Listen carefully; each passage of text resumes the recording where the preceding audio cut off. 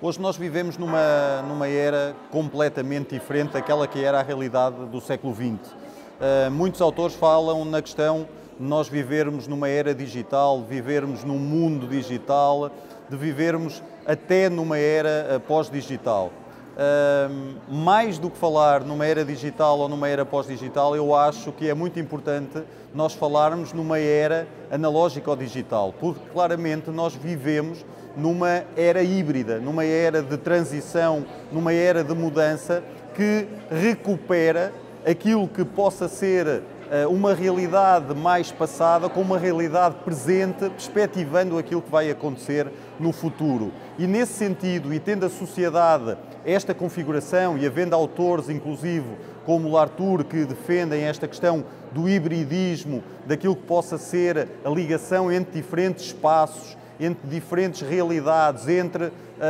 aquilo que são os humanos, os não humanos que interagem, digamos assim, nesta nova realidade uh, social, a própria educação não pode ficar afastada desta, desta realidade. E, portanto, hoje em dia parece-me que nós devemos falar também numa educação híbrida. E, portanto, uma educação híbrida, mas num sentido uh, que não se restrinja apenas a falar de um hibridismo da modalidade educativa, não apenas dizer que uh, a educação híbrida ou o ensino híbrido é a combinação de uma modalidade presencial com uma modalidade à distância. Até porque hoje em dia esses conceitos uh, têm que ser repensados, falando e tentando descodificar exatamente o que é que é a educação à distância, que é naturalmente diferente daquela que existia há 20 anos e há 10 anos atrás, como a educação presencial é diferente. Portanto, do ponto de vista conceptual, se calhar também temos que pensar que tem mais sentido falar, por exemplo, em educação digital e uma educação eh, ou uma educação analógica ou digital que se manifesta nestes diferentes espaços e, portanto, que claramente ultrapassa eh, apenas a dualidade entre a educação presencial e a educação à distância, mas uma educação híbrida que se manifesta também através de metodologias diferenciadas, onde as metodologias ativas vão assumindo um papel cada vez mais importante, mas as metodologias, digamos assim, que já têm alguma tradição e que são seculares, não devem ser eliminadas, mas devem ser coordenadas com estas metodologias ativas, onde as próprias ferramentas digitais dialoguem com ferramentas mais analógicas e, portanto, que não se restrinja uh, àquilo que seja, por exemplo, a leitura uh, digital aos tablets, a dispositivos móveis, mas que se perceba também que os cadernos mais clássicos, os livros mais físicos poderão ser importantes para interagir, perceber efetivamente também que não há apenas uma pedagogia e, portanto, quando nós estamos a falar em educação híbrida, podemos combinar pedagogias de caráter mais transmissivo com pedagogias de caráter mais dialogante, de caráter mais colaborativo, eh, mais explicativo, de cooperação, de colaboração e, portanto, falar-me faz mais sentido, quando nós falamos em educação híbrida, falar no plural do que propriamente no singular. E obviamente que isto abre o campo da educação para uma área que muitas vezes acaba por ser difícil de delimitar fronteiras, porque as fronteiras não existem. As fronteiras são muito indefinidas, não existem paredes que fechem atualmente aquilo que nós podemos considerar como uma sala de aula, porque se estivermos efetivamente a falar de uma realidade física, existem fronteiras físicas, mas quando nós falamos de uma educação híbrida, naturalmente estamos a falar em espaços onde os espaços educativos não são apenas a sala de aula formal, mas a própria cidade, o espaço envolvente pode ser um espaço educativo, obviamente que aí nós estamos a falar de fronteiras fluidas, líquidas, que nós não sabemos exatamente onde elas começam e onde elas terminam. E isto é que é admirável também perceber que a educação não termina num, num, num, ponto definido, nem acaba noutro, mas é uma educação que vai decorrendo em todos estes espaços em todo o tempo, porque não existe uma hora definida para começar a aprender e uma hora para acabar, porque, obviamente, eh, aquilo que é também o poder da rede digital e do sinal digital faz com que, desde que haja uma ligação online, há uma aprendizagem que ocorre em todo o tempo. Portanto, nós hoje temos que repensar efetivamente o que é que nós entendemos por educação híbrida, por ensino híbrido, percebendo que a visão redutora de dizer que a combinação entre uma modalidade presencial e uma modalidade online é educação híbrida. Não deixa de ser verdade, mas é uma verdade limitada àquilo que nós entendemos hoje que pode ser uma maior amplitude da educação híbrida e que tem que ser estudada, que tem que ser investigada e que abre as fronteiras de facto para os não limites daquilo que é uma educação formal. Nós vivemos atualmente tempos onde parece que a velocidade dos tempos acontece a rapidez, a uma rapidez cada vez mais, mais elevada. Parece que tudo acontece ao mesmo tempo. E para jovens estudantes que neste momento frequentam as salas de aula e que estão habituados a essa constante velocidade, a vários estímulos ao mesmo tempo, parece às vezes difícil e complicado criar ambientes educativos onde esses jovens se sintam também confortáveis e sintam vontade de aprender. Então quase que nós temos que pensar em como é que nós encontramos alguma estratégia mais disruptiva para criarmos metodologias, para criarmos estratégias, para criarmos ambientes de aprendizagem onde estes estudantes se sintam efetivamente confortáveis e onde, na verdade, se, se sintam engajados. Há, há, um autor que diz que, que a aprendizagem ela é, é efetivamente engajada quando quando se tem vontade de a fazer, mesmo quando não é necessário fazê-lo, mesmo quando não estamos a pensar em o fazer. E então sentimos confortáveis e sentimos vontade e estímulo para aprender cada vez mais. E na verdade, se nós estamos permanentemente conectados, e aqui para ligar esta ideia entre disrupção, conectividade, engajamento, se nós estamos permanentemente conectados, por que não aproveitar precisamente todas as capacidades, todas as eh, modalidades diferentes de aprendizagem que nós podemos desenvolver através de coisas tão simples quanto um celular,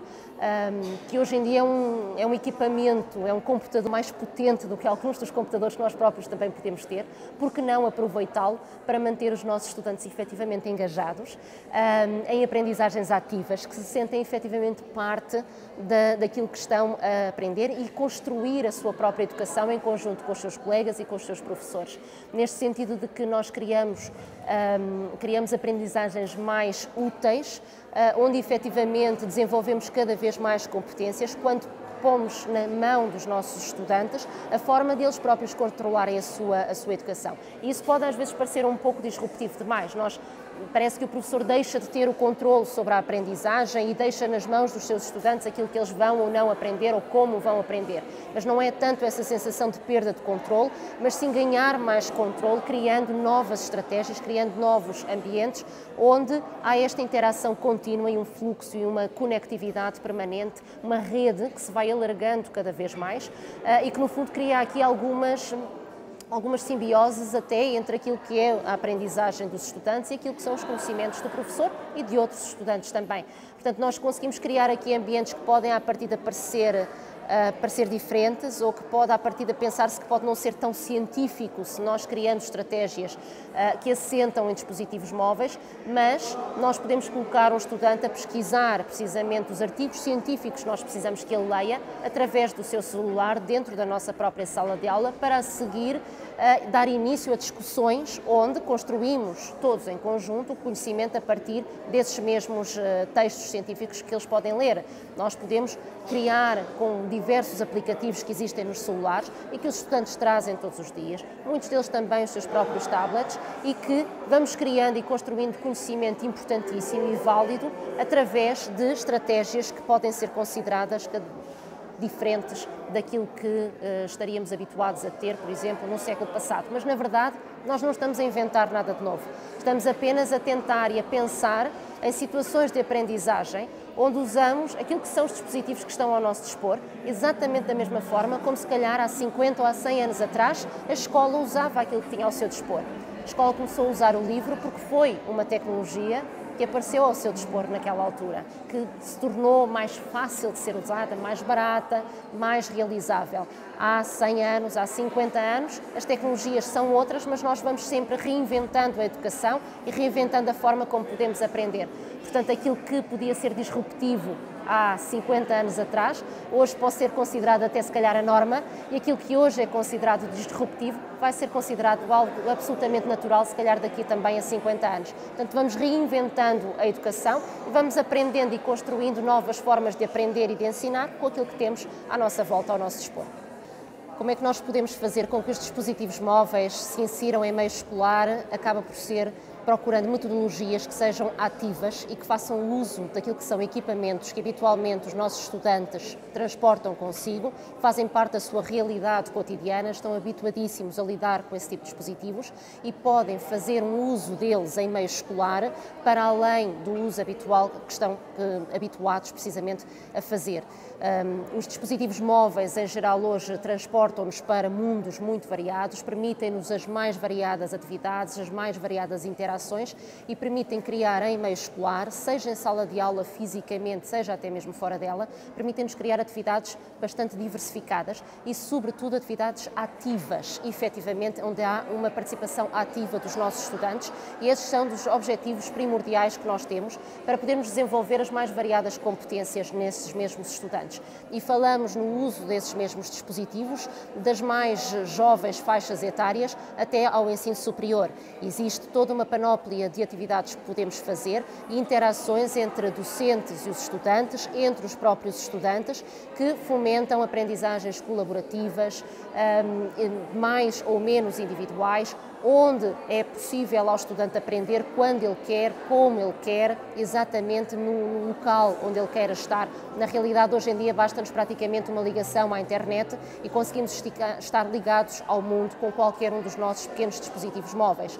Ah, e, portanto, isso permite-nos aumentar o espaço de aprendizagem, deixar que ele fique restrito aos muros de uma sala de aula, mas que passe para o cotidiano, até em geral, dos, dos nossos estudantes e que permite então esta interação constante e uma interação e aprendizagem constantes nesse, nesse mundo tão vasto que é o mundo digital. Portanto, criando estratégias ativas através desses dispositivos, conseguimos criar aprendizagens cada vez mais importantes, cada vez mais alargadas e que interligam não só as competências específicas disciplinares, mas efetivamente todo um conjunto de outras competências que nós necessitamos eh, efetivamente de aprender para viver da melhor forma possível neste século em que nos encontramos.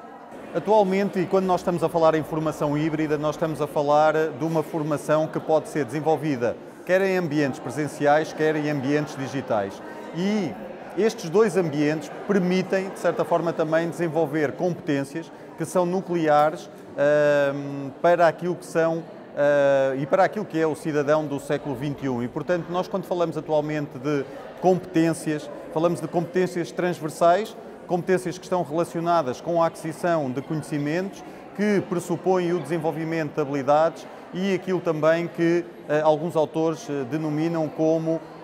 as atitudes e aquilo que são as qualidades de caráter. A educação híbrida acaba por ser muito importante neste aspecto porque permite aos professores perceber efetivamente como é que, utilizando também as próprias tecnologias digitais, podem promover este tipo de competências, sejam elas ligadas diretamente àquilo que são as literacias fundacionais, ligadas ao conhecimento da área disciplinar e científica, como a matemática, a história, as ciências da natureza, e ao mesmo tempo articular com aquilo que são as competências nucleares e que são uh, referenciadas por muitos organismos internacionais como as competências que são transversais e que permitem, de certa forma, também ao estudante integrar-se no mundo do trabalho, permitem, por outro lado, também desenvolver uh, competências relacionadas com a cidadania e permitem-lhe aprender. Portanto, hoje em dia não tem sentido falar em competências transversais sem falar em comunicação, em colaboração, em espírito crítico, naquilo que é a criatividade do aluno,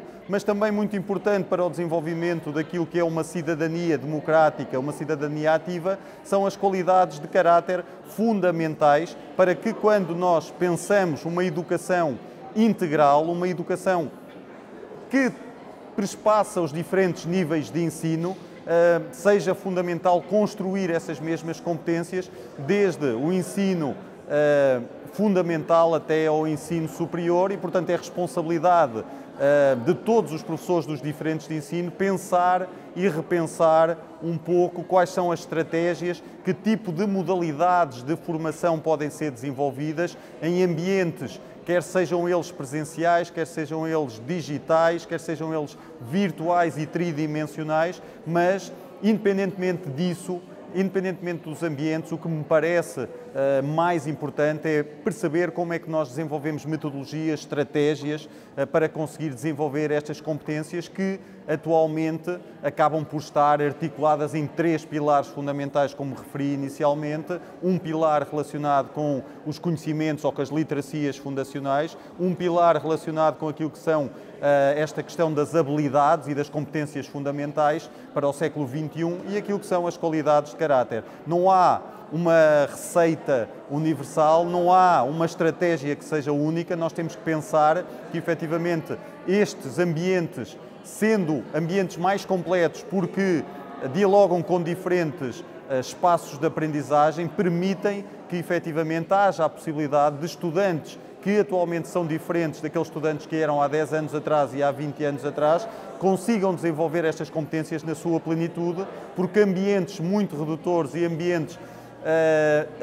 que de certa forma não consigam responder àquilo que é a particularidade do aluno e aquilo que não seja um ambiente personalizável pode fazer com que essas competências não consigam ser todas desenvolvidas. Portanto, hoje temos que pensar nestas competências não direcionadas apenas para uma área uh, disciplinar, para aquilo que possam ser competências direcionadas para uma área específica, mas pensar nelas como competências transversais e multidimensionais.